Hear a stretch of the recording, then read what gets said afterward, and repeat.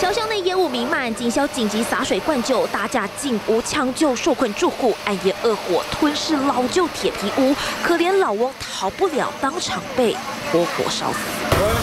接到噩耗赶回家，但一切都太迟了。孙子不敢置信，只是临时出门买个东西，家成了废墟，自责自己当时怎么不在家，没把阿公及时从火窟救出来。叫他孙子的名字，他就开始丢东西，对，他就开始丢东西，砰砰砰，他找我，好像有人来丢丢丢汽油弹。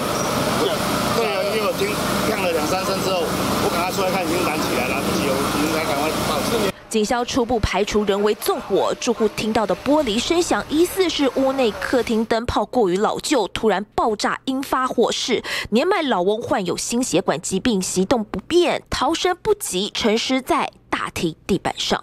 恶火来得突然，警消到场已经一片火海，所幸火势被控制住，没有继续延烧。老旧公寓的危机让家庭悲剧不断上演。借台北综合报道。